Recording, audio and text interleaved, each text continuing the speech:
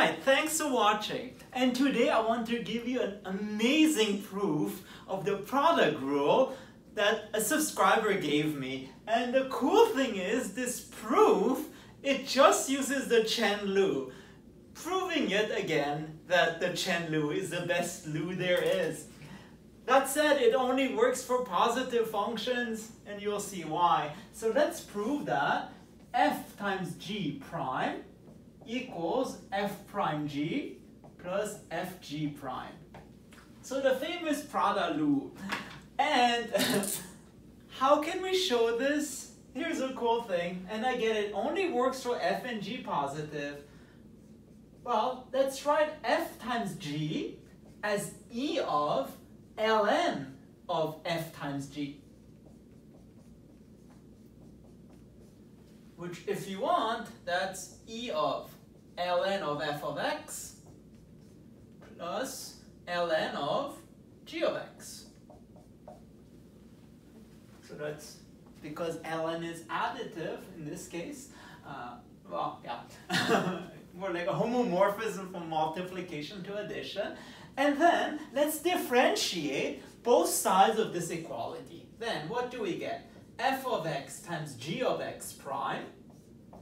Well, that is e of ln of f of x plus ln of g of x prime. And again, we're not allowed to use the Prada Lu, but we can use the Chen Lu. So use the Chen Lu, and what we get is, it's e of this thing, ln of f of x, plus ln of g of x, times the derivative of the inside, so ln of f of x, plus ln of g of x prime. Alright, and the good thing is, this junk here is just f times g, so it's f of x times g of x. And the question is, what is the derivative here? Well, we can use the Chen Lu again, because the derivative of ln of x is uh, 1 over x.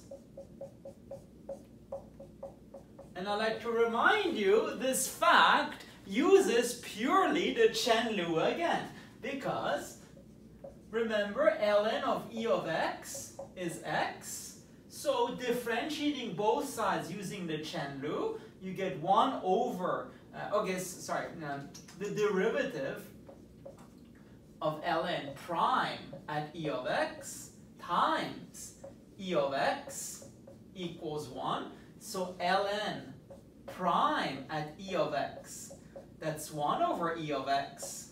So ln prime, let's say, of y is 1 over y.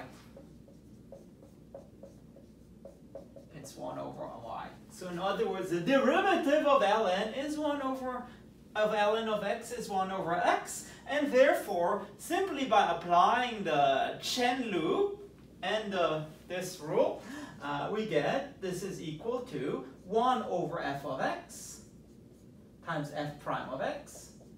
And similar with g, plus 1 over g of x times g prime of x. And then all we need to do, it's a beautiful simplification, we just need to FOIL this out. And in the end, what do we get? f of x, g of x, g of x over f of x, f prime of x, plus f of x, g of x, over g of x, g prime of x, and the terms that we don't want cancel out. So I know I'm running out of marker ink, but uh, that doesn't mean we're gonna run out of awesomeness because in the end what we get is f prime of x, g of x plus f of x, g prime of x. And that what did we try to calculate? f times g prime of x. Which is a proof of the Prada loop using purely the Chen loop. How cool is that?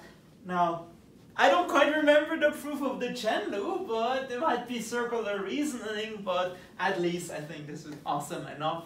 Um, Alright, so if you like that and you want to see more math, please make sure to subscribe to my channel. Thank you very much.